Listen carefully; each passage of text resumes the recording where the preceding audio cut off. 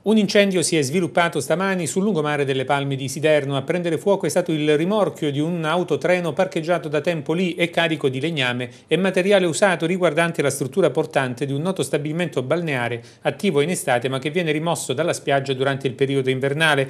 Ingenti danni che da una prima stima ammonterebbero a circa 50.000 euro. Sul posto sono intervenuti subito i vigili del fuoco di Siderno e i carabinieri che hanno avviato le indagini.